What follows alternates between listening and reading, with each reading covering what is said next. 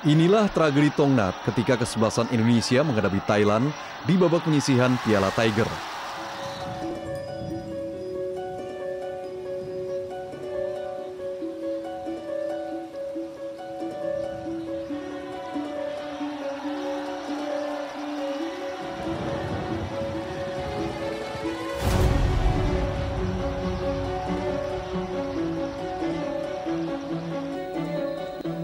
Sejak kick-off dimulai, penonton sudah melihat pemandangan yang tak beres.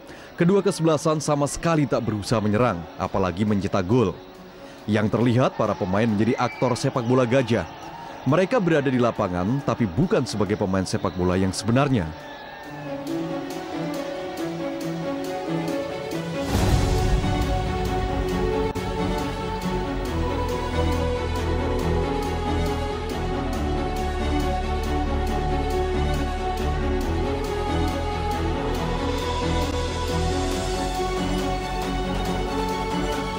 Pemain Indonesia memang diinstruksikan pelatih Rusdi Bahalwan untuk mengalah dari Thailand.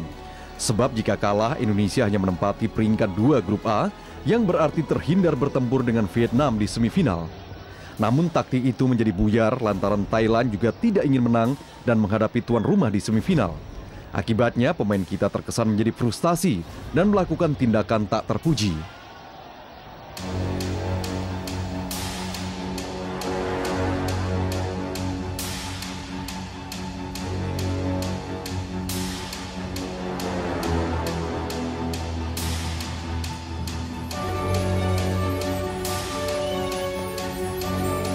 Strategi menghindari Vietnam yang konon mengeksploitasi keuntungan sebagai tuan rumah secara berlebihan adalah wajar. Tapi menghalalkan semua cara termasuk mengorbankan nilai sportivitas demi mencapai tujuan tentu bukan prinsip seorang duta olahraga. Kemenangan akan menjadi tak berarti jika diraih dengan cara yang tidak terpuji. Sebaliknya kekalahan bisa lebih diterima bila dibarengi sikap yang sportif dan elegan.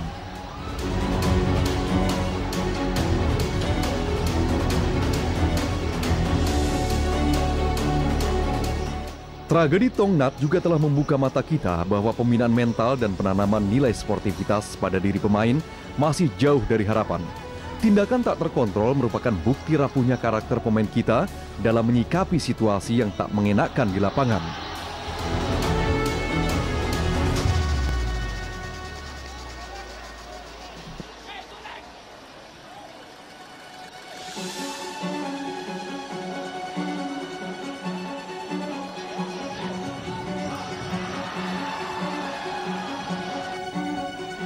Tragedi Tongnat telah mencoreng citra sepak bola kita.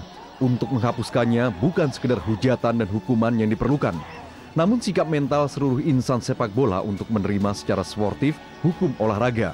Kalah atau menang layak dihargai sepanjang dilakukan secara satria